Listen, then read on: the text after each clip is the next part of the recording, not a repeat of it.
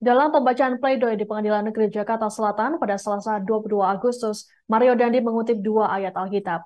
Dua ayat Alkitab tersebut berisi soal petobatan manusia atas kesalahannya. Mario mengatakan dua ayat Alkitab tersebut dipedomaninya selama menjalani proses hukum. Ia mengaku telah menyesali perbuatannya dan selalu memanjatkan doa. Untuk itu Mario berharap agar majelis hakim memberikan keputusan seadil-adilnya untuk dirinya dalam pledoi, Mario memohon pada hakim agar tak tergiring opini negatif dari publik dalam memeriksa kasusnya. Menurut Mario, saat ini banyak pemberitaan yang tidak benar terkait dirinya.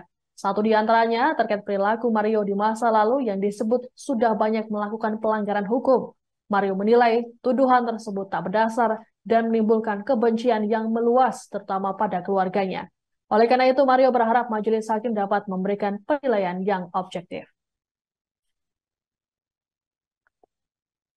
Terhadap ya khusus yang 118 miliar itu kami sangat keberatan. Karena apa? Karena yang dipakai proyeksi itu adalah ya Dokter Tatang menyatakan tidak pernah membuat proyeksi di muka persidangan di bawah sumpah tidak ada proyeksi yang dihitung oleh Maya Pada pada surat tanggal 18 April itu adalah biaya yang sudah dikeluarkan selama tiga bulan dipersempit di sebulannya berarti berapa?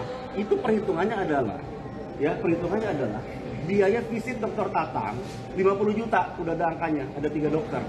Biaya sewa bed elektrik biaya sewa perawat ya. Selama satu bulan yang sudah terlewati. Lalu langsung dikalikan dengan 54 tahun. Itu bagaimana ceritanya gitu loh? Maksudnya kita harus fair lah kalaupun ada proyeksi ke depan, jelas dulu berapa kali sih dokter yang diperlukan, apa sih pengobatan yang harus dibayarkan, apa sih terapi yang harus dilakukan. Kalau itu mungkin kita bicaranya beda. Terus ini juga pengalinya langsung 54 tahun. Bagaimana kalau misalnya terdakwa ini atau eh, korban ini menjadi sembuh? Dan biaya restitusi sudah dibayar, terus mau diapain? Ya, ya jadi itu itu saja. Itu itu nota, nota pembelaan yang kami buat. Karena hal ini bisa terjadi kepada kalian semua kepada saya ya. Penuntutan itu harus juga berlandaskan keadilan. Kita setuju bahwa penegakan hukum harus dilakukan. Cuman penegakan hukum itu juga tidak boleh dilakukan dengan melanggar hukum itu sendiri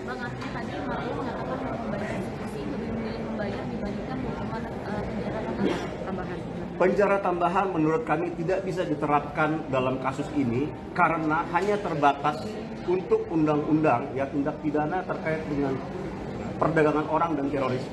Ya, kalau sikapnya Mario, dia sebenarnya tidak menolak.